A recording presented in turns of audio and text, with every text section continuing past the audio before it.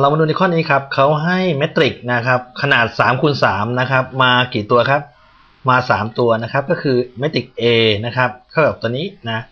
เมตริก B เนี่ยเท่ากับตัวนี้แล้วก็เมตริก C เนี่ยเท่ากับตัวนี้นะเป็นเมตริกขนาด3คูณ3ทั้งหมดนะครับเขาให้หาอะไรครับ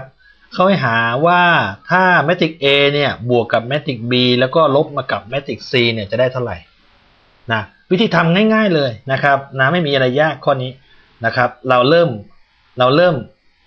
ตั้งเมตริกเลยนะครับ จะได้หาผลของมันได้นะนะแรกแรกสุดก็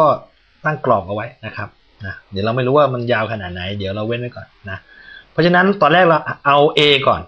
การที่จะบวกในเมตริกได้เนี่ยทำไมครับ เราต้องบวกตำแหน่งเดียวกันใช่ไหมเอาห้าบวกอะไรครับ ในตำแหน่งที่หนึ่งนะแถวที่หนึ่งหลักที่หนึ่งบวกกันนะถ้าเป็นลบก็จากบวกก็กลายเป็นลบถูกไหม จากเจ็ดก็กลายเป็นลบเจ็ดถูกไหมครับนะเพราะฉะนั้นเราเริ่มเอาตำแหน่งเดียวกันมาบวกกันนะครับเราเริ่มจากตำแหน่งแรกก่อนนะครับนะอันแรกเป็นอะไรครับเป็นห้าบวกหนึ่งลบเจ็ดถูกไหมเพราะว่าเอา a บวก b ลบ c ถูกไหมเพราะฉะนั้นก็จะได้เป็นห้าบวกหนึ่งลบเจ็ดนะครับในตำแหน่งที่สองศูนย์บวกห้าแล้วก็บวกสี่ถูกไหมไอ้ลบสี่เห็นไหมศูนย์บวก นะครับศูนย์บวกห้าลบสี่นะครับศูนย์บวกห้าลบสี่นะครับนะในตำแหน่งที่สามอะไรครับหนึ่งบวกสอง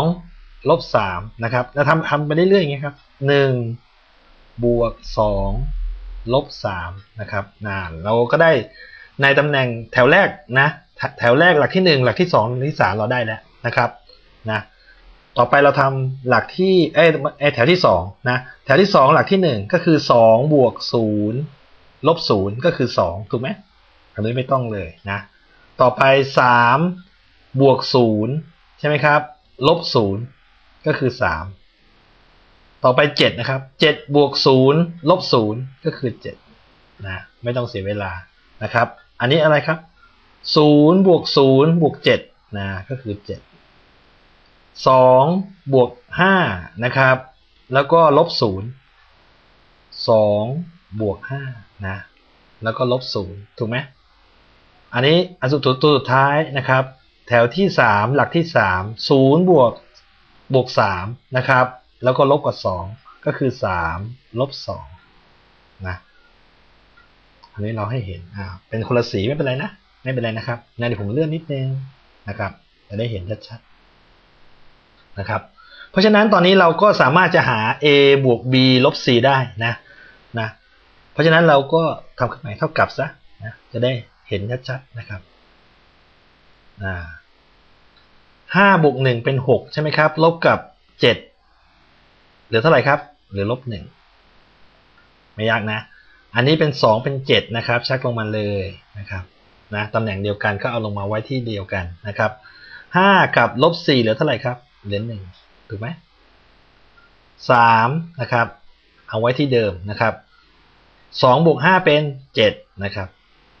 อันนี้แหละครับได้เท่าไหร่ อันนี้สามใช่ไหมครับ ลบกับสามสามสามลบสามเหลือศูนย์ถูกไหมด้านนี้นะครับเจ็ดนะเอาไว้ที่เดิมสามลบสองเหลือหนึ่งเพราะฉะนั้นตอนนี้เราได้แล้วนะครับ เป็นคำตอบของข้อนี้นะครับ ก็คือลบหนึ่งหนึ่งศูนย์นะครับ แล้วก็สามสองเจ็ดแล้วก็เจ็ดลบเจ็ดหนึ่งเป็นคำตอบของ a บวก b ลบ c นะ เดี๋ยวเรามาดูในคำถามอันต่อไปนะครับ อันนี้ครับจากโจทย์เดียวกันนะ จากโจทย์เดียวกันกับตะกี้นี้นะครับนะเขาให้หา a ลบ b ลบ c นะ อันนี้คำนองเดียวกันเลย แต่ว่า b นั้นมีค่าเป็นลบกับ c มีค่าเป็นลบใช่ไหมไม่งั้นก็ไม่ยากอะไรนะ เราก็ตั้งเหมือนเดิมนะ ตั้งเลยครับนะ ตั้งเลยนะขีดก็ไม่เคยตรงสักทีนะไม่เป็นไรนะ อันนี้นะครับ a a คืออะไรครับ เอาเอาตำแหน่งแรกก่อนใช่ไหมเดี๋ยวเราเพื่อความเข้าใจนะครับ เอาตำแหน่งแรกก่อนตำแหน่งตำแหน่งเดียวกันบวกลบกันนะตำแหน่งเดียวกันบวกลบกัน เพราะฉะนั้นเริ่มแรกก็คือห้า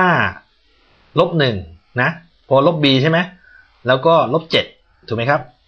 ห้าลบหนึ่งลบเจ็ดใช่ไหมต่อไปอะไรครับศูนย์ ลบห้าลบสี่ถูกไหมครับลบห้าลบสี่นะเพราะว่าศูนย์ไม่ต้องเขียนก็ได้ใช่ไหมต่อไปอะไรครับหนึ่งลบสองลบสามหนึ่งลบสองลบสามนะไม่ยากนะครับนะก็ปิดวงเล็บเหมือนเดิมนะสีก็ไม่เป็นไรนะ อันนี้อะไรครับสองลบศูนย์ลบศูนย์นะก็คือสองถูกไหมครับ ต่อไปสามตำตำแหน่งตำแหน่งตำแหน่งตรงนี้นะครับนะแถวที่สองหลักที่สองสามศูนย์ศูนย์นะครับก็คือสามนะครับตำแหน่งที่สาม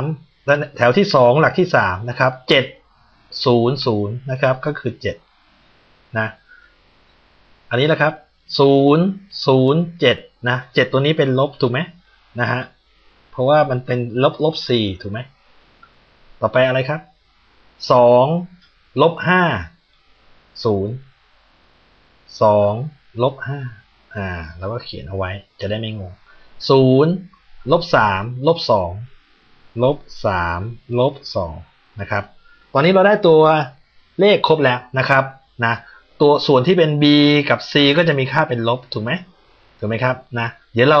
เลื่อนนิดนึงนะครับ จะได้เห็นชัดนะครับ ตอนนี้เราหาคำตอบได้ยัง เราหาคำตอบได้แล้วนะครับ นะโดยเราแค่บวกลบธรรมดานะก็ได้คำตอบในตำแหน่งนั้นแล้วนะครับอ่าเรามาเริ่มกันเลยนะครับห้ากับลบลบเจ็ดกับลบหนึ่งก็เป็นลบแปดใช่ไหมครับลบแปดกับห้าก็เหลือเท่ากับเท่าไหร่ครับลบสามต่อไปครับลบห้ากับลบสี่ก็เป็นเอามาเครื่องหมายลบเหมือนกันเอามารวมกันก็เป็นลบเก้าถูกไหมลบสามกับลบสองเป็นลบห้านะเอาออกสักหนึ่งนะก็เหลือเท่าไหร่ครับ ก็เหลือลบสี่นะสองลบเจ็ดถูกไหมไม่มีตัวอะไรก็ลงมาเลยฮะสามลบห้าเอาออกข้างสองเหลือเท่าไหร่ครับ เหลือลบสามนะลบสามกับลบสองลบสามกับลบสองเหมือนกันนะ เอามารวมกันเป็นเท่าไหร่ครับ เป็นเท่าไหร่ครับ เป็นลบห้าอันนี้ตัวสุดท้ายนะ ตรงตัวตรงกลางก็คือเจ็ดนะครับ เพราะฉะนั้นตอนนี้เราได้แล้วนะครับคำตอบ ออกมาก็คือลบสามลบเก้าลบสี่สองสามเจ็ดแล้วก็ลบเจ็ดลบสามลบห้านะครับ เป็นคำตอบของ a ลบ b ลบ c นะครับ ตัวหนังสืออาจจะไม่สวยแต่ว่าขอให้เข้าใจว่าตำแหน่งเดียวกันเอามาลบกันนะเอามาบวกลบกันได้นะ ถ้าตำแหน่งต่างตำแหน่งเอามาทำอะไรก็ไม่ได้เลยนะ เอาความเข้าใจเป็นหลักนะครับ ขอบคุณครับ